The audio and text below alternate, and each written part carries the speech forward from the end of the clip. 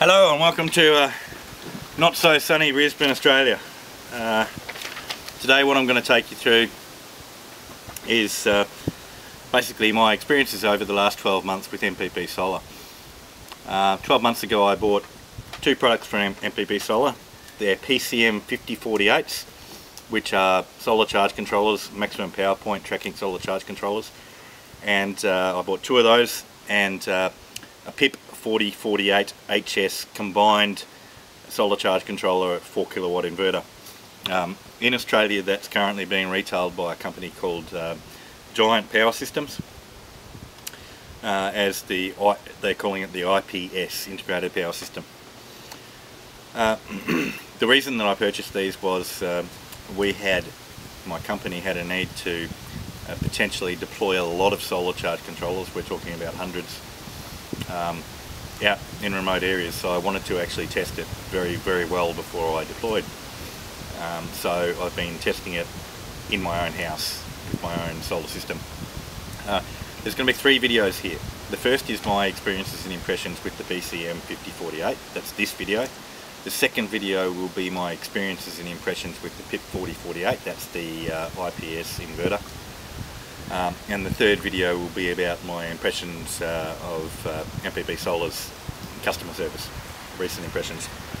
Um, my system that I've been testing it on uses AGM batteries. Uh, they're in a 48 volt configuration, um, 380 amp hours in total, so that's around about 18 kilowatt hours. Okay, getting into the nuts and bolts of it. Uh, basically what I've found, having these charge controllers set up in my office for 12 months uh, is that under certain conditions they will quite dramatically overshoot their set points. Those certain conditions are um, over 90% state of charge, so usually when you're in the absorb stage or, or late into float or into float as well. Um, and two things will happen. Sometimes that overvoltage will occur for between 15 and two, 15 seconds and 2 minutes. Um, that's the sheer majority of the time, but under certain conditions I've also caught them sitting at 62.7 volts for a very prolonged period of time. Uh, i.e. I found my batteries fizzing like a, a Coke can and extremely hot. Um, I know this has been for at least 10 minutes, could have been for hours, I'll never know. Um, because the data logger is on the inverter and that's always happened when the inverter's actually been out of service.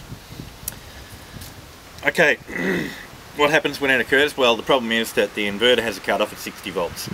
So uh, it's rather inconvenient. You'll come home uh, and your fridges will be off.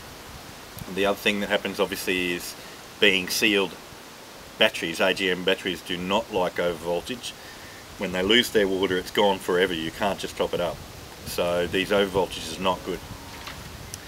Um, over that year we've spent probably, uh, I literally have sent hundreds of emails back and forth between MPP Solar's um, tech guy Eric and myself troubleshooting this and being really constructive and, and working through it and as a result of that they've made a change to the controller but in my experience it hasn't fixed the problem. Um, Eric's take on this is that it's ripple voltage. Uh, ripple voltage is a very, look it up, it's in the description. Ripple voltage is a very, very high frequency um, oscillation essentially in the voltage. Um, throughout the system, um, the charge controllers, the inverters, they all create ripple. And what they've got on the back end of uh, where, where the MOSFETs are, they've got uh, filtering capacitors that try and eliminate that ripple. Uh, basically, there's two modes that the ripple is caused by. Uh, the first and most common one is uh, the MOSFETs opening and closing, they actually create ripple. The other thing is, um, under certain circumstances, uh, the PID controller will overcorrect, undercorrect, overcorrect, undercorrect, and under certain situations, if you have an impulse, i.e. Uh, clouds coming over and then going, uh, massive increase in solar energy, uh, the charge controller tries to compensate by pulling down the power point. It then overcompensates, you go below the set point, then it goes over the set point, under, over, and eventually it should get back to the middle. But sometimes what we're seeing is that uh, those impulses trigger a really, really strong oscillation in the voltage and that the charge controllers will lose control. More of that later. That's when you get the dangerous situation where it's sitting at 62.7 volts for a prolonged period of time. Um, Eric's asked me to change the PID controller settings, which I've done. Uh, we've spent hours and hours and hours working through different settings on the PID controller and it has been unsuccessful at eliminating this problem. Um, the other thing is send it in, we'll fix it. I've sent them in uh, at my own expense a number of times now and it hasn't worked. Um, Eric's also said it's ripple and it's kind of implied that it's caused by the batteries. Uh, uh, so get more batteries. So I did. I bought another four batteries at the cost of $1,000. Uh, my existing battery capacity, 18 kilowatts, is not a small amount of batteries, but I bought extra. Made no difference. What I actually think is happening here, uh, I agree with Eric that it's due to ripple. Well, what causes ripple? I went through that a bit before. Uh, positive feedback from an impulse, uh, the action of the MOSFETs. Uh, to understand why this might be affecting AGMs and not lead acids, uh, I guess you need to understand a little bit about the properties of AGM batteries. They've got a very low internal resistance, that's why you can charge them at a higher rate and discharge them at a higher rate than a normal lead acid. Um, one characteristic that they do have though that's not such a problem with lead acids is when they get past 90% state of charge, uh, their internal resistance goes up dramatically. So batteries can act like a capacitor and I think that's where Eric's going when he says get more batteries because um, he's hoping that the batteries will filter out the ripple current. Um, but using a battery as a capacitor is not a good idea. Basically, I believe what's happening is as they reach that very high internal resistance, they're not acting like a capacitor anymore. Uh, any filtering ability that they had is gone, so it's all down to the capacitors in the charge controller and the inverter to try and get rid of that ripple. Um,